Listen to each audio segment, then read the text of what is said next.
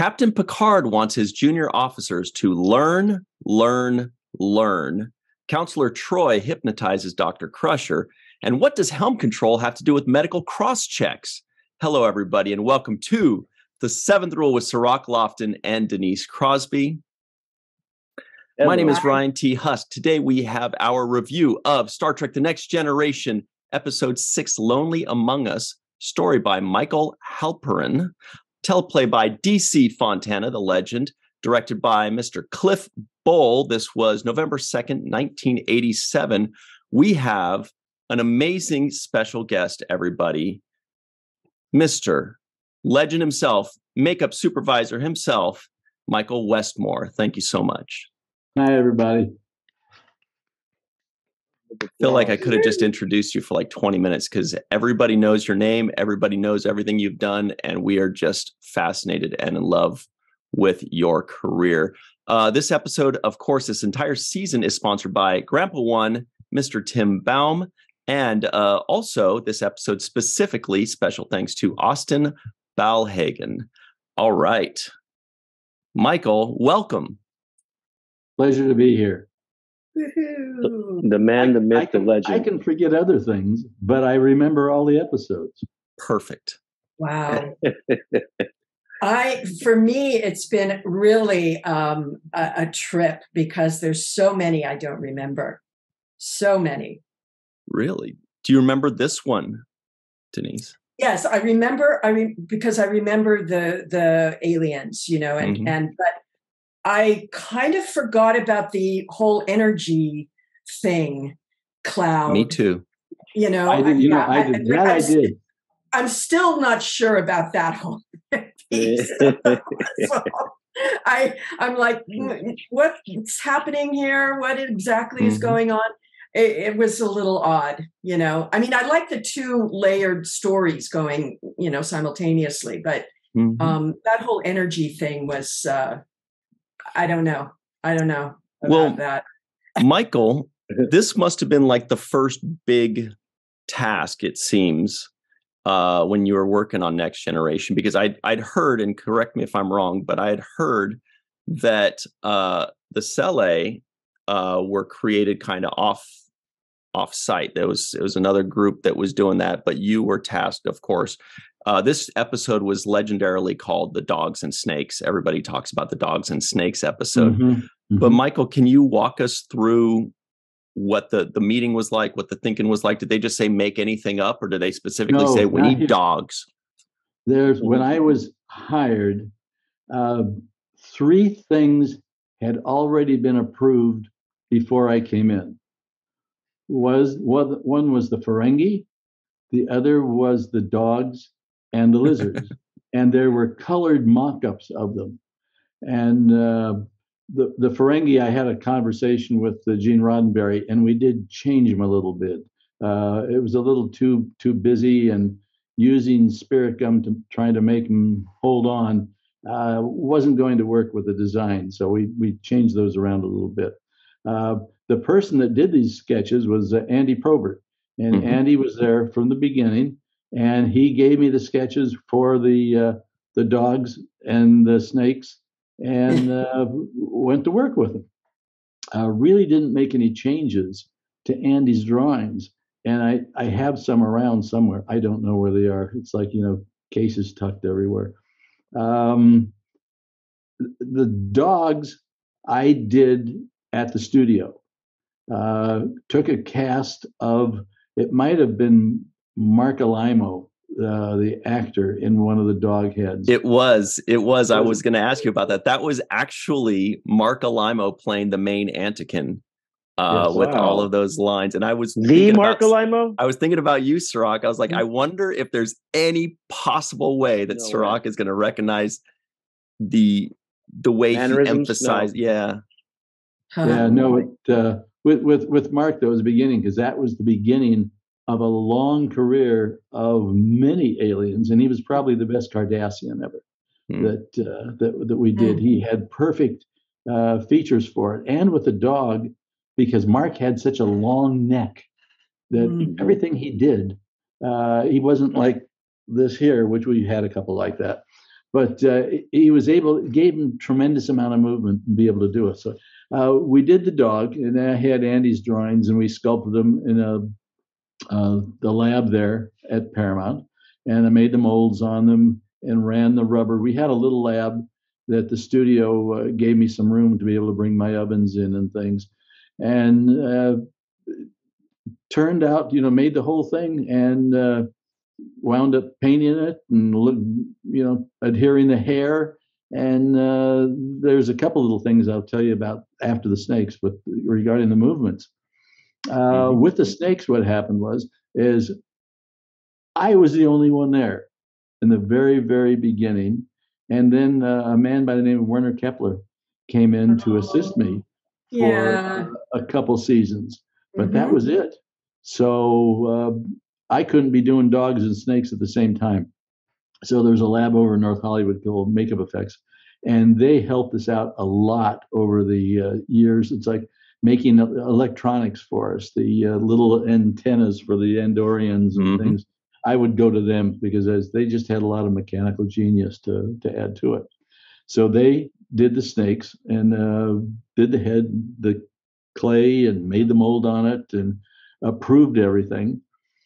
And when it came time to take the raw sculptures and they're the raw rubber that's been done to uh, paint it and prepare it, the the dogs are fine because I actually poured the rubber and did all of that. But with their snakes, that they were supposed to two days before we were supposed to start shooting, they bring the three heads to me, and I'm expecting the same soft rubber that I've made my dogs out. And in fact, I don't remember them telling me they weren't going to do that. Mm. They were hard as a rock and they had no flexibility to them. And we had no time to go back and run those again because they were so thick around the hood in the back that uh, we had to go with what we had. And uh, painting at that time too, it it uh, I, I found called shoe magic which was the spray that shoemakers do if you want to change the color of your shoes, but did not have the sophisticated setup we had later on with airbrush and um, all the technical things we could, we did for painting, for shading and highlighting and everything. And I I became a master at doing uh, shoe magic spraying, and it's just like you'd spray it with one color, and then like taking what you'd call a frisket and a piece of paper, cardboard, and and be able to do shading around it and highlighting, and that's how the snakes were done. But the the drawback to them, because I wanted flexibility, so yeah. there was no way they could even do this or that because this thing was like a rock on their head, and wow. uh, so that's the way they uh, survived for uh, the rest of next generation. I noticed the best they could do was just kind of like lean forward. They were trying to or do like turn. A, they would turn from their shoulders like that. They couldn't. God. They couldn't turn because how much did it weigh? Hmm? How much? How much did that head weigh? Oh well, not much because they made them out of styrofoam. And uh, oh, yeah, okay. a rigid okay. styrofoam. Now, if it had wow. been a flexible styrofoam, it would have been okay, but right. it wasn't. It was rigid, so they re- really were stuck in that type of a position. And so they were all painted up. The hair was laid on the dogs. But then you start looking at them, and this this has gone on through my whole career is always looking for the little details and the extra things we can add to it. So with the dogs, uh, one of the guys that uh, was working for me, Steve, he used to be a puppeteer, and mm. I was saying, "Gee, the mouth, and I, we can't do anything with the mouth except to maybe do a slight thing. And Steve says, "Well, why don't I make a a, a little a wire basket that would fit in the mouth?" And he did. He made this little thing that went in the mouth, and whenever they bit down on it, uh, like that, the mouth would open. So the dogs could actually do this. They couldn't curl, but they still could open and close like that, which was brilliant. And then mm-hmm. when they figured out that uh, the Mark could stick his tongue through the center of this little wire basket, uh, like that. So I made a nose tip or a tongue tip that literally slipped over. It was hollow on the inside. It would slip over his own tongue. And so when he opened that and he stuck his tongue out, it would stick out between his teeth. And wow. so it gave Mark, at least, it gave him some life. Uh, I don't remember yeah. Mark having contact lenses in his eyes, but uh, painted him up just like a dog. And then there were areas where there were seams and not being able to cover them. And that's why wherever you see hair on uh, the dogs, because mm. they're bald on top. Mm. Uh, yeah, cover. I mean, he has a lot of, you know, snarl and and it to his face. He has the dog has a lot of movement. Yeah, you know, you really that, notice that. that. yeah, with the snakes again. Of course, it was I was I died every time because we we did not have the movement that would really. He would have had to have moved his head to make his body do one of these things too. So mm-hmm. we, we we missed out on that. But I, again, for the snakes, I made another tongue that was about six inches long, and on the end of it, it was like a snake with a little forked tongue, and on the other end was a little cup that would fit over the the end of his tongue, so he could mm. take and stick his tongue out and wiggle it. And so, and, and then, and since it was six inches long, he could pull it back in. So it looked like he was sticking his tongue. Wow. But these are little, wow. but these are the things you need to make something come to life. You know, um, how, how, much time do you get, uh, Michael, to to prepare to, to for an episode? any from anywhere from five minutes to uh, it, it, was very fast. We shot seven days, started a new episode. I had a giant calendar there uh, in my office, and I had to literally keep track of when's it going to shoot and what has to be done prior to mm-hmm. every one of those days. And uh, I can't say we ever missed uh, through the 18 yeah. years. We were, well, there was one thing that happened on Next Generation when uh, Q and Whoopi Goldberg were sitting at a mm-hmm. bar, and Whoopi picks up a fork, and what they wanted to do was jab him in the back of his hand. And they asked me, I got a call. I'd gone home like at 9 30, 10 o'clock. Uh, do I have an arm that Whoopi can have. Now, had they asked me in the afternoon or something, the answer would have been yes. No, I didn't have an arm that looked exactly like Q's arm that, uh, with with hair punched in it and everything. But I told him, I said, "You want to shoot it tomorrow as an insert? You'll have it."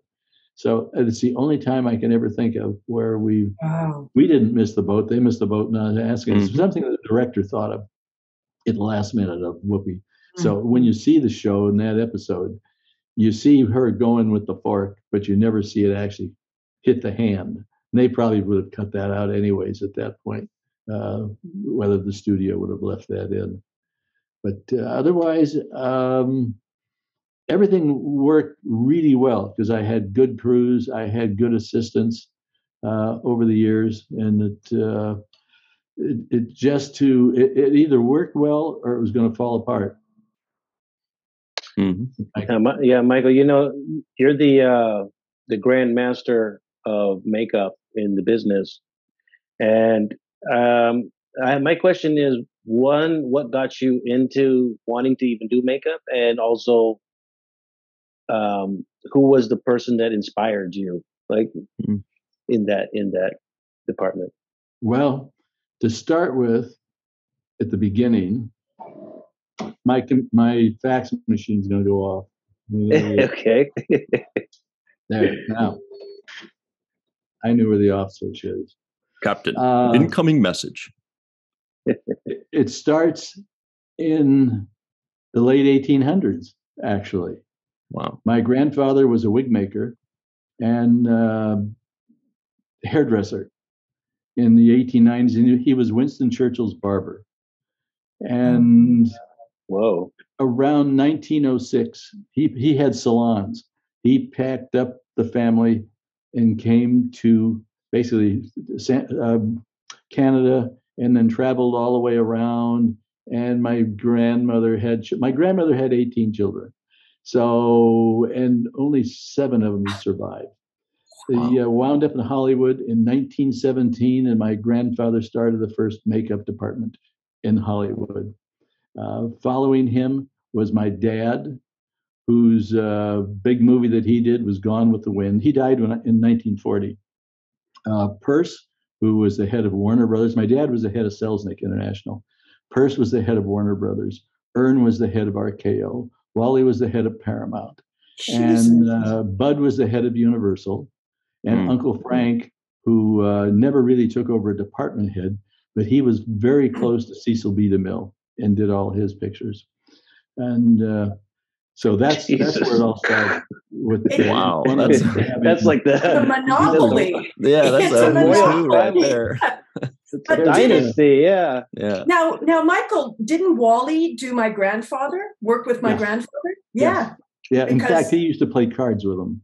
Yeah, we when when Michael and I met, you know, when I first was cast, um, you know, we we we had this rare um, opportunity of being like you know third generation mm-hmm. mm-hmm. in the business you know and that our relative you know his his uncle had had done my grandfather bing's makeup when he was um, making all those paramount films you know mm-hmm. and, and everything so it was it was just really a wonderful kind of connection i had wow. the chance of making a going over to dorothy lamour's house uh, there was a bunch of pictures called the road uh, road to Morocco, road to Alaska, mm-hmm. blah blah blah. In fact, I went with my mom worked on Road to Alaska, where they had this huge snowstorm and everything. I went to used to go to work with her on Saturdays, and uh, I got a, to do a commercial with Dorothy Lamour, which was interesting. Because you walk in the front door of her house, and there are pictures of her all around the living room in sarongs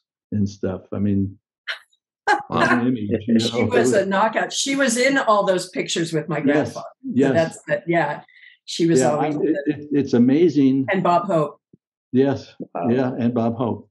Mm-hmm. Um, I, I wrote my memoirs, which were published in 19 in 2017, and I just kept coming up with one thing after the other. And the people that I've met, all the way from Elizabeth Taylor to David Bowie, um, it just yeah. goes on and on and on. Somebody will bring up a name. I'll go, I met them. I did. I mean, that was. Yeah. And, and, my whole career has been like that. Uh, not having uh, stayed at one studio because I was Universal for 11 years. And Butch Patrick from the Munsters and I are still really good friends. And, oh, wow. He's a, yeah. I, I met him a few times. What a lovely, lovely Isn't man. Yeah. Oh, God, yes. I was, oh. I was his idol because I was single I had a sports car, and he would come into my makeup room, and I'd have to put a board across the, the chair to be able to glue on his ear tips and uh, put his eyebrows on, and uh, paint him gray and everything. And he used to tell me how he idolized me, you know, and uh, because I was just so cool. So it uh, still are. He, Still are, baby. Still he are. Was, he was such a nice man, though. Such yeah, a he's, nice man, you know yeah. And uh, wow. do you recall an incident that gave you the most trouble as far as like coming up with aliens that just was uh, a big puzzle for you to try to On figure Star out? Trek? Yeah. No. Wow. No. I uh, what I did is I had a huge library of books.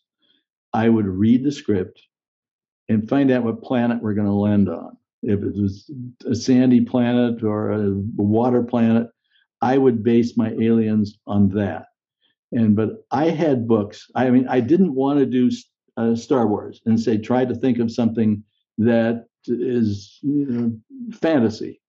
So almost, almost, I would say everything I did had some connection to Earth, which made it a lot easier on me. Uh, mm. Because I could say it's an aquatic thing. Ah, do, should we do turtles or should we do blowfish or whatever? and then mix them up. Yeah, turtle with a blowfish, you know, and, and, and the colors. It wouldn't you wouldn't paint the alien red, otherwise you're going to destroy the whole thing. So I kept the colors where the alien is from in the, uh, uh, the whole theme of what we, we were doing. The palette, the palette of. Uh, yeah. It was, it was, I, it was, it made life easy for me. It's like I first found that out when I was doing Michael Dorn and the Klingons, and I found a book that had cross sections of dinosaurs in it. And so I based mm. every Klingon head I ever did, and we had about 32 of them uh, finally in stock, uh, on a cross section of dinosaur vertebrae. So, so uh, which dinosaur do you remember? Uh, which dinosaur you uh, pulled from for Michael Dorn's? I just go through the page. Mm-hmm. You could pick almost any one of them out, whether it was a Brontosaurus or a T Rex or whatever. Sagittarius, different, different spines. They all had different spines. So that, oh, is, that is cool. So amazing. Yeah. Uh, I had to find a common denominator to work with because yeah. when I took Star Trek, uh, I called my wife, and uh, after they, they they said, "You want you to do it," and it was only like two days before, on a Thursday, and I told them I wanted to think about it and call them, and they said, "Well, you got to think fast because we're going to start doing tests on data on Monday." So I called Marion and I said, "Well, you know, the first one only lasted a couple of years, and this is probably going to be the same." So uh, Marion says, "Go ahead, take it. You're not. We were not. We're not going anywhere."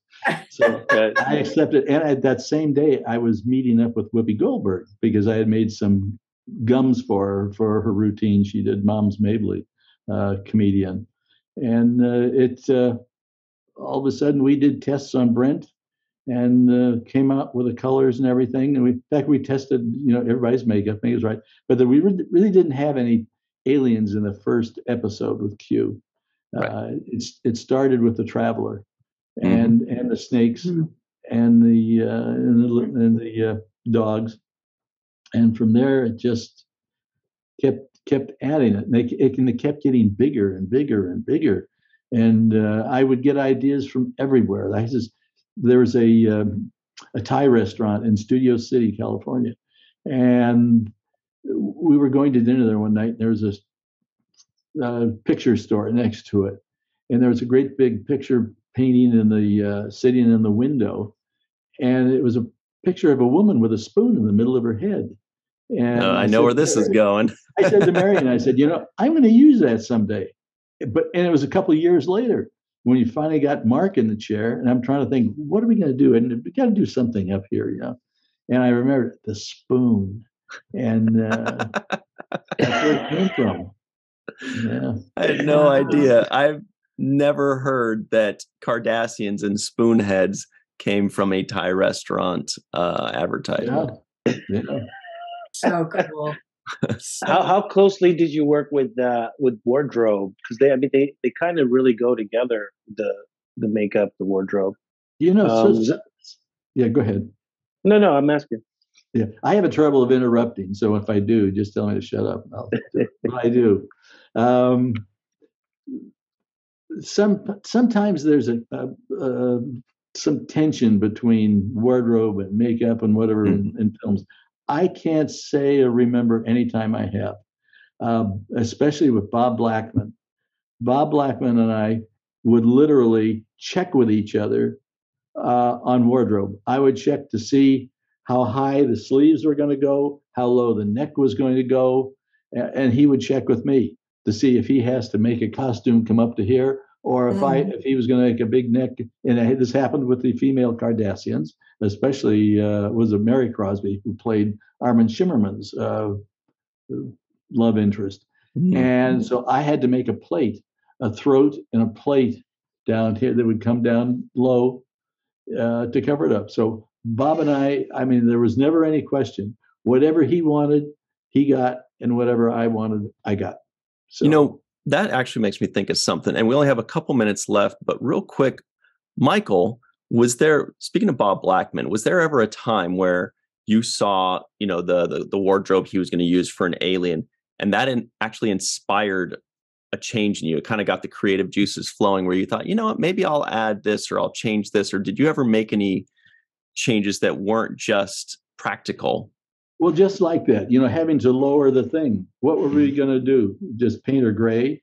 No, made a full latex sheet with the scales, same scales we had on the rest of the head hmm. on the sheet, and maybe a few little bones sticking out of it. Uh, the same thing happened with the Borg, where any place uh, there was exposure, and there wasn't a lot, but wherever the, there was, whether there was a tube attached to his face or whatever, we were covered, or if our wardrobe needed something covered up, we would cover it up.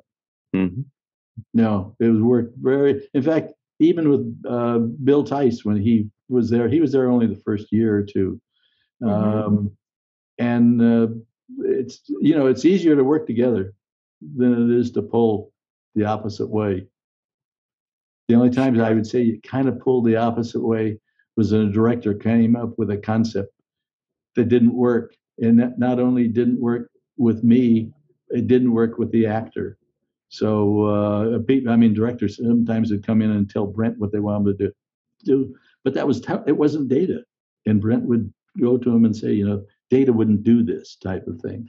Mm. And so, I mean, I had a, a director on one of the movies that wanted to change the Vulcan's color to gray, and I I literally had to go to to Berman and say, you know, this ain't gonna work, you know. So he was, I'll take care of it, you know, and he did.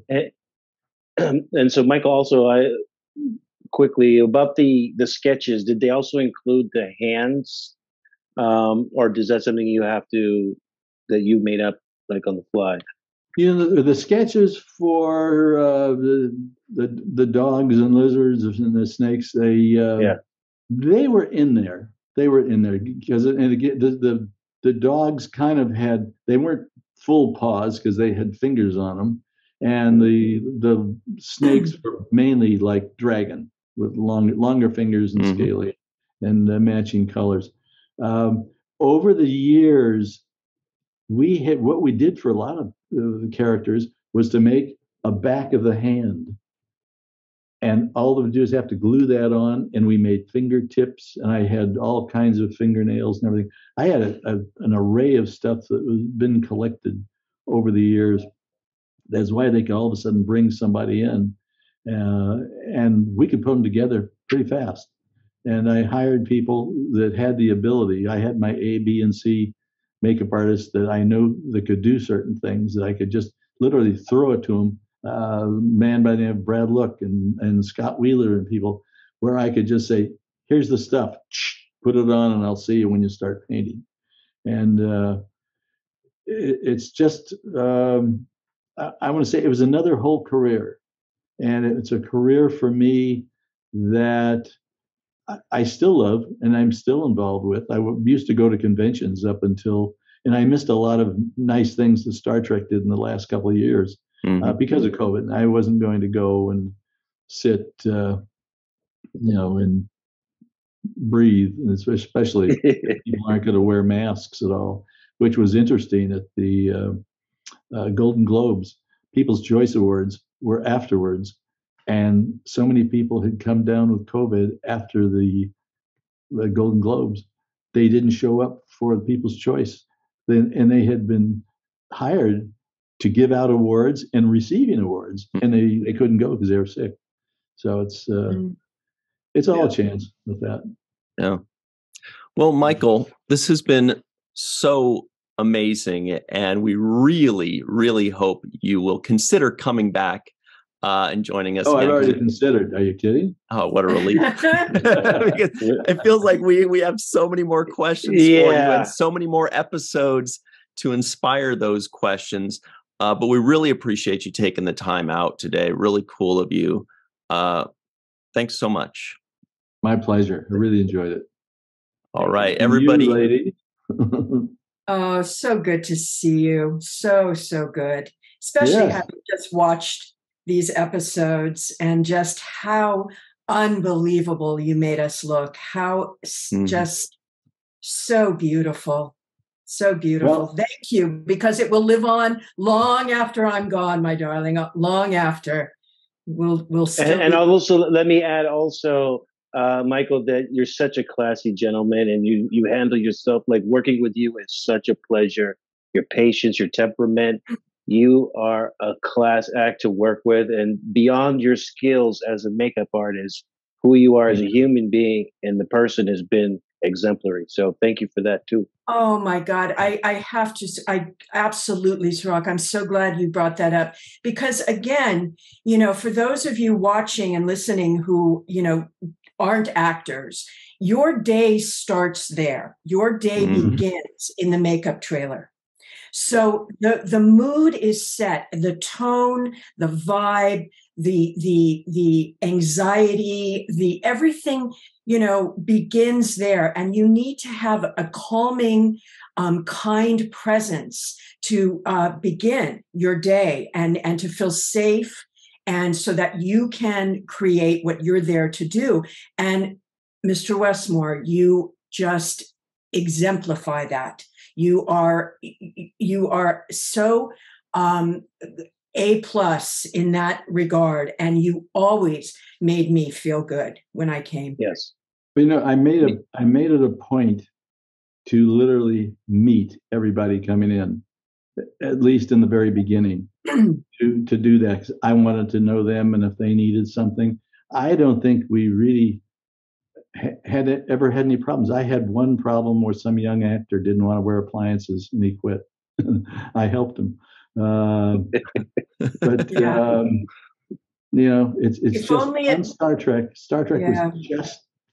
I want to say it's it it was a joy. One of those things you do for free. It was so much fun. You can say that now, but you, yeah, I, hope I, hope you didn't say that 30 years ago. um, no, but it, and, I, and I have to just say that the person behind me my entire career was my wife Marion, is my wife Marion, and we will have been married 58 years this year. Wow. Uh, we met on a tour at Universal, and uh, she was uh, Edith Head's model at the time. Oh my uh, God. Yeah, the history you legends, got is legendary. Legends. This is right? generational history, like passed down. God, it's amazing. And by the way, Michael, you've been in makeup, doing makeup professionally for sixty years. Yep, more. Actually, I, I mean, started in '61. Wow. And I continued to do it after after Star Trek finished. Hmm. I did an Indian film, uh, East Indian, for two years, where the main character played 10 different characters in the movie. Wow.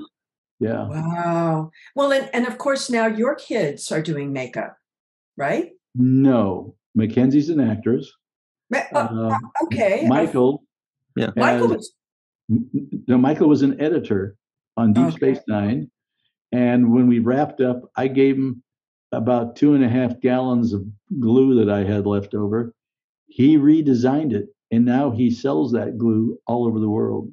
Mm-hmm. And he sells hair dyes all over the world. And, wow. Uh, and my other daughter, the one that has the, uh, huh? the brain problem, um, she is uh, involved in an entertainment management firm. She's married to the president. so That's a little involved. Wow. She was a secretary when it started. oh, I found wow. the original sketch here that was actually used, one that you based your character off of. Uh, here it is. See? Oh my God. Wow. Good job, Cirroc. Nailed it. that's, my, that's my crappy drawing there, Michael. Excellent. Uh, and on that uh, note, uh, everybody at home, stick around. We've got much more to discuss. And uh, we're really looking forward to the next time seeing you on the show, Mr. Michael Westmore. Thank you so much. Everybody, stick around. We'll be right back on the seventh rule.